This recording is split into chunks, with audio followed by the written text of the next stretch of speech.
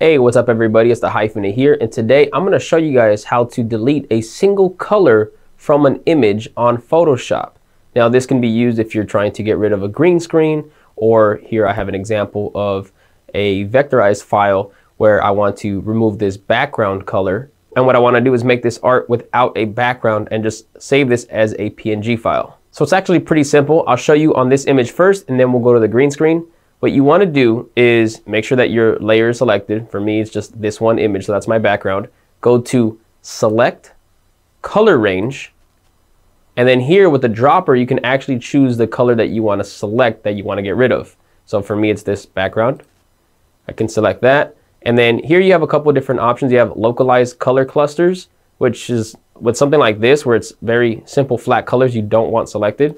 Leave that off. And then right here where it says fuzziness, you can slide that back and forth to get it to make sure that it's exactly how you want it. Now you see here, if you look closely, this is a little bit more gray now than it is solid black.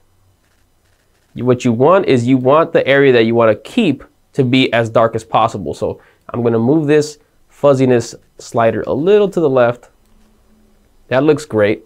Now I'm going to press OK.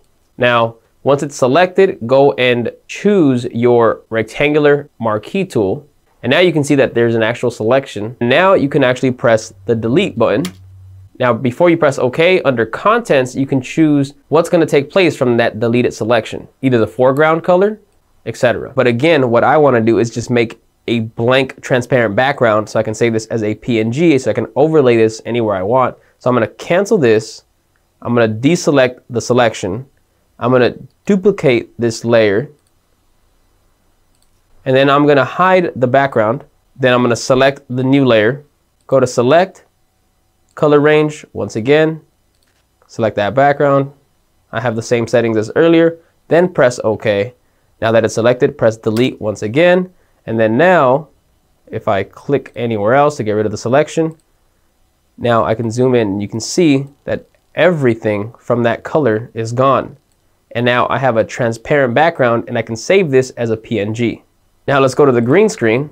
Here, let's say I want to get rid of this entire green screen. I'm going to duplicate this layer,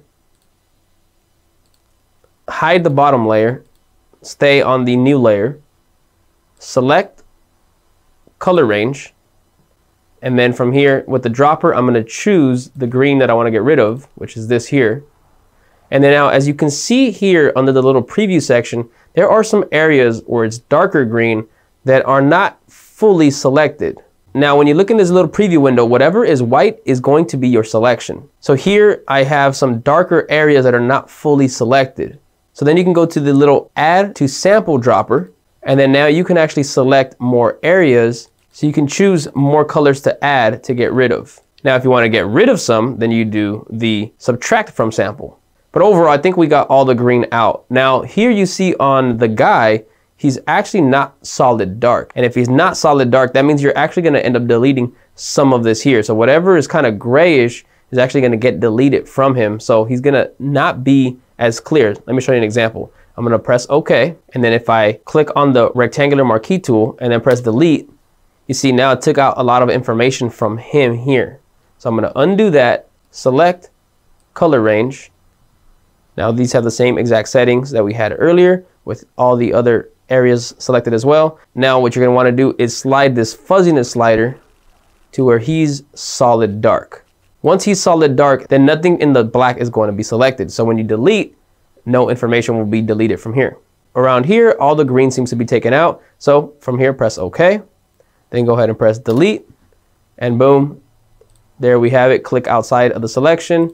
And now you have him right here with a transparent background. So if you wanted to actually add a layer underneath, you can actually do the paint bucket. If you do want to have a background, you can make it a white background. Or if you want to change that to a red background, or again, you can hide that and save it as a PNG. And that way, this is something that you can just easily overlay anywhere else. And that's how simple it is to remove solid colors from an image in Photoshop. Please make sure to drop a like on this video, drop a comment below if you have any questions, and please make sure to subscribe. I have a lot more videos coming soon. I'll catch you guys in the next one. Peace.